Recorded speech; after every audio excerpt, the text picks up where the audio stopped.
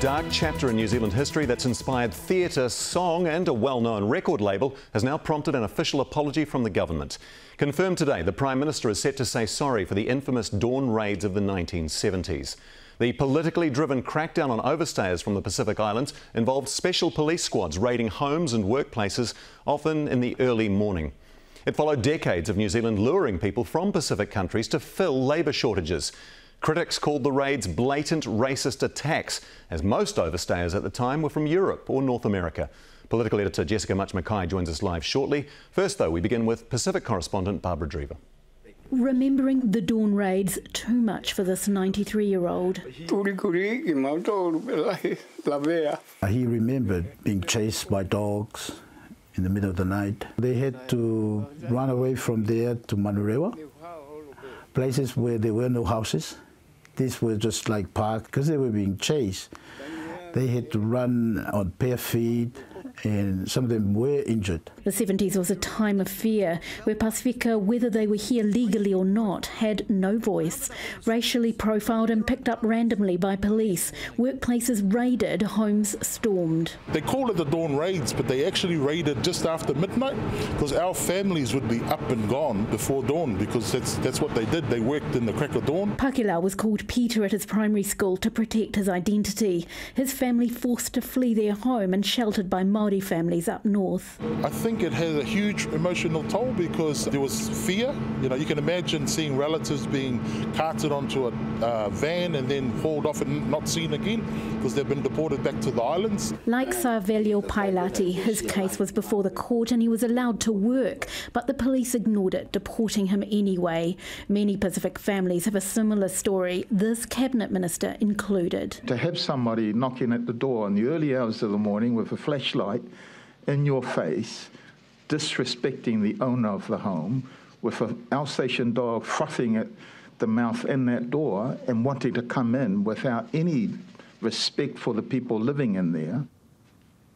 Overwhelmed that there will finally be a longed for apology. An apology can never reverse what happened or undo the decades of disadvantage experienced as a result but it can contribute to healing for Pacific peoples in Aotearoa. Savelio dreamt of buying his family a home and his children educated. He achieved that after returning to New Zealand and working until aged 82, refusing to listen to the many voices against him. Racism was blunt. We can't educate them, they're not used to our way of life. Let's keep to our own British stock. Savelio wants to be there at the apology. While he has forgiven, he's not forgotten. And Pacific correspondent Barbara Dreaver is with us now live from Auckland's Karangahape Road. Kia ora, Barb. Just how timely is this announcement? Oh, it couldn't be any more timely. In two days' time, it's the 50th anniversary of the Polynesian Panthers. This is a group that was set up by young Pacific Islanders to defend and advocate for the rights of Pasifika at that time. You can see uh, murals behind me that have been done in, in honour of, of what that, that group did. And what will this apology mean for the Pasifika community? Uh, it, it actually means so much, and that's because it was so highly traumatic at the time for so many people that there is still a lot of deep scarring, emotional scarring amongst our Pacific communities here. And so for them, it is actually so important because it wasn't just about the deportation of overstayers, although that was certainly part of it. Pacific Islanders at the time had to carry their passports around with them. They were targeted because of the colour of their skin, whether they were in the workplace or in schools or at home. And it was deeply traumatising for them. And so there are calls today for, amongst the Pacific community, for there to be more than apology, but also maybe a pathway to residency for uh, overstayers today. Thank you for that, Barb. In Tamaki Makaurau, that's Pacific correspondent Barbara Dreaver. Let's turn now to political editor Jessica Mutch McKay. Kia ora, Jess. How significant will this apology be politically?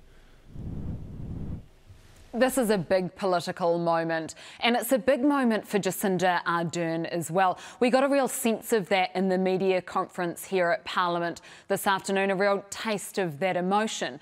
In terms of the actual apology, it's going to be deeply traditional and culturally appropriate. In terms of a government apology, there's a pretty high threshold for that. It has happened twice before, once to the Chinese community over the poll tax for Chinese immigrants. That apology happened in 2002, and also to the Samoan community for some of the injustices that happened when New Zealand was administering it. Now, there's also that question of compensation that Barb talked about earlier. Now, that has been ruled out by the government, and she's also trying to dampen down any suggestions for an amnesty for those overstayers. The Prime Minister made that statement, made that announcement here at Parliament this afternoon, and then quickly afterwards, the Prime Minister, uh, the leader of the opposition, I should say, Judith Collins, came out and supported that in a strongly worded statement as well. She, of course, is a spokesperson for the National Party for Pacific People. She came out and said it is an act of it was an act of discrimination that reverberated across decades, and she agrees with the Prime Minister that we need to acknowledge that as a nation. Kia ora, Jess. At Parramatta Parliament, Jessica Mutch McKay.